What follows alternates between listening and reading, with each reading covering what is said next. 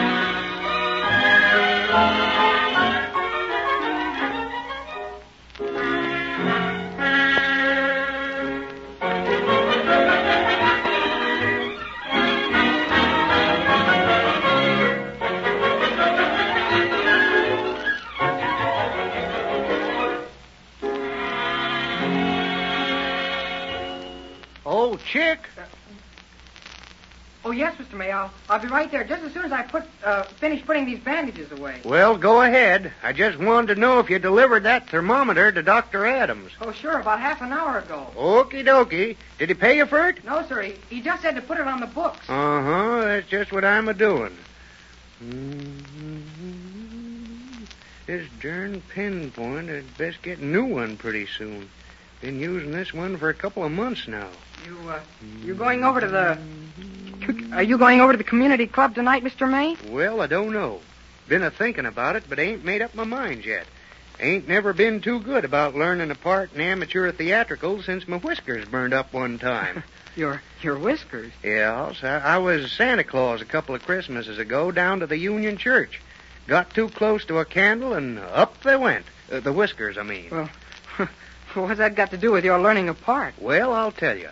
You see, Chick, every time I start to play act, I get thinking about them whiskers, and my mind just don't seem to function. Oh, I see. Yes. The next time I had a part, all I had to do was to come running in onto the platform and yell, Hold! Hold!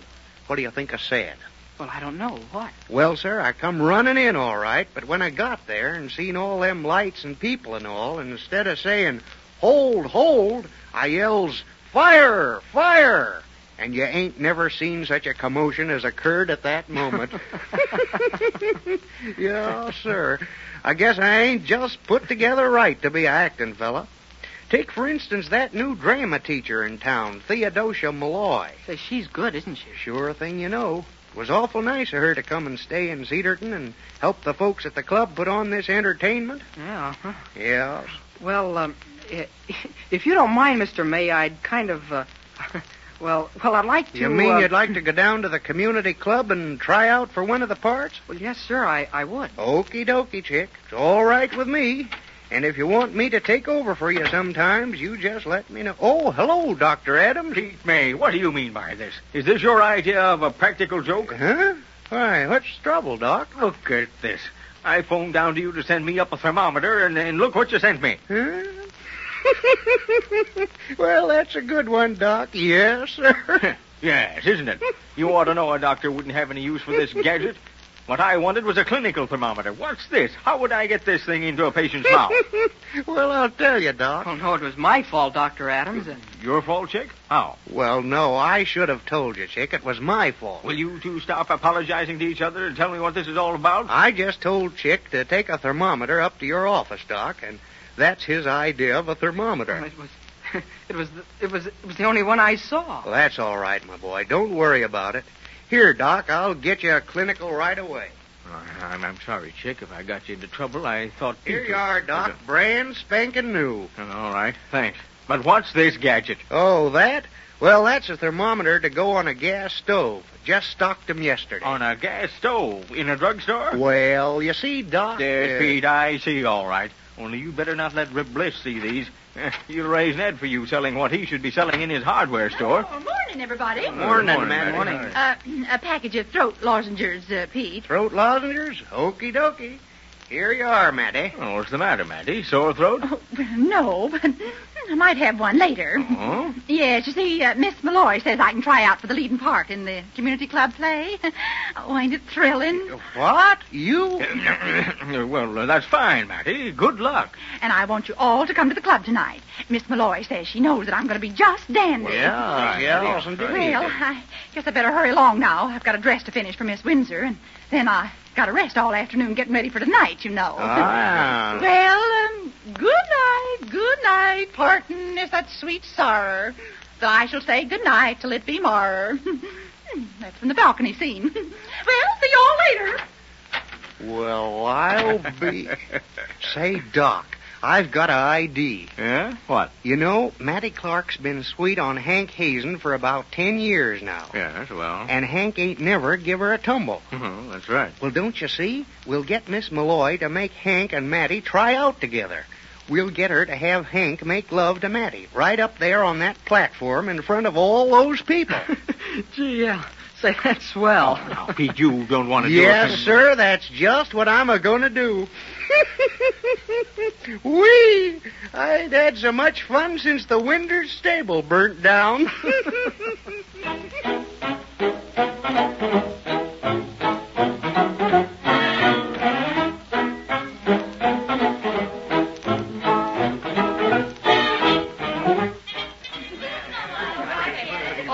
right now, ladies and gentlemen. All right. Now, I know that you people haven't had a great deal of experience in the theater, but I'm sure that if we'll all bear with each other, we'll get along nicely and select a fine cast to present this splendid play. Thank you. Now, you've all had a chance to look over your scripts, and we might as well start right in. Miss Clark, Mattie Clark. Here I am, Miss Malloy, all rested and everything for the ordeal. well, I, I don't think it's going to be too much of an ordeal, Miss Clark. Uh, you've uh, looked over your part, have you? Oh, I should say. I ain't done anything else for the last three days except make a dress for Miss Windsor. Oh, yes, of course. Now, in this scene, I'd like to have Mr. Hazen play the part opposite Miss Clark. Hank? Oh, oh my goodness. Is Mr. Hazen here? Yep, yep, I'm here all right. Pete May told me you wanted to see me. Yes, oh yes, Mr. May. Uh, now, Mr. Hazen, here's your part. Now, the idea is this. You've been away to the wars. Mm, what wars? The, the well, uh, I don't know, just a war of some kind, and you come back expecting to find the young girl you left behind you waiting, waiting expectantly for your return. You understand? Mm-hmm. Yep, I get it. Yes, all right. Uh, now, uh, turn out the house lights. All right, go ahead, you two.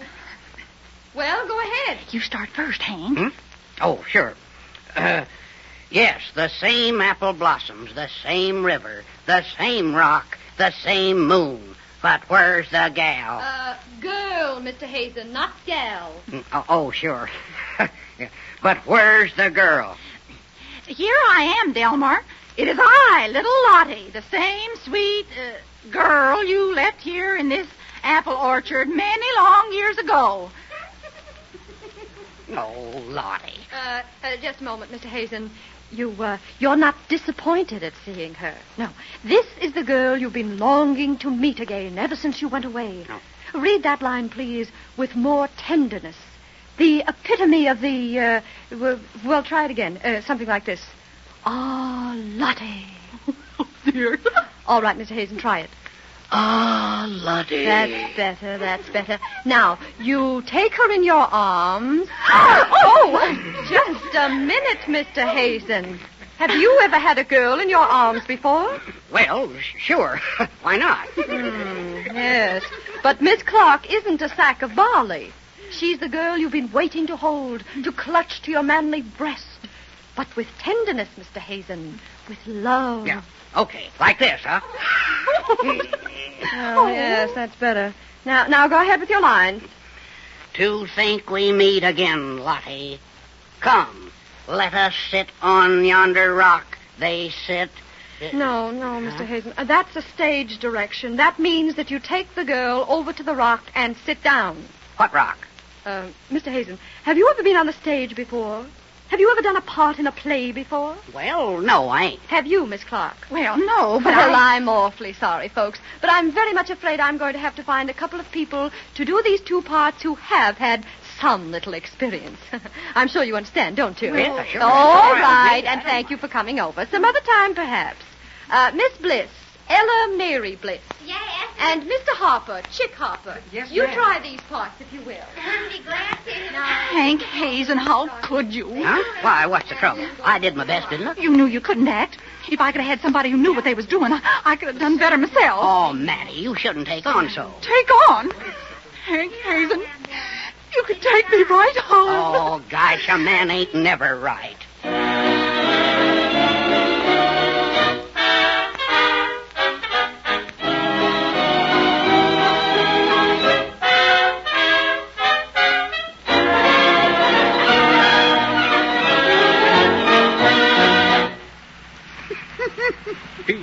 Gosh to Friday, you shouldn't laugh at poor Matty. Poor Matty. Golly sakes, Doc, I ain't seen nothing so funny. Since the Windsor stable burned down, yes, I know. I must say you've got a distorted sense of humor, Pete. Oh, come on now, Doc. Matty'll get over it. Well, I don't know, Pete. Matty isn't as young as she used to be, and Hey, besides... Doc. Huh? There's an automobile up ahead of us there. Looks like it's stalled. Hmm, yes, I wonder who it is. Hey, Doc, it's Hank Hazen's automobile. It is? Yeah, sure as shooting. Yep, that's who it is. Slow down, Doc. Maybe they're in trouble. Say, Matty's with them. Let's see if they need help. Hello, folks. Any trouble? Oh, uh, oh, uh, hello, Pete. Uh, uh, hello, Doc. Uh, d- didn't expect to find you out here on this road. Well, uh, Pete was just uh, making a call with me. Hope we, uh, well, I hope we didn't disturb you. Pete, hush up. well, I reckon you're sort of, uh, well, now, surprised to see me and Matty out here. well, sort of sparking like, ain't you, huh? Well, a little, yeah. Well, tell the truth, I'm kind of surprised myself, but, Matty, she was feeling so bad about the play and all. Well, that's all right, Hank. You better. Come along, Pete. Oh, just a minute, Doc. Say, Hank, how come you was such a mess up there on that stage tonight, but you're sure doing all right now? Oh, Pete how May. come, Hank? Well, I'll tell you. I guess when I do my sparking, uh, I just don't like an audience.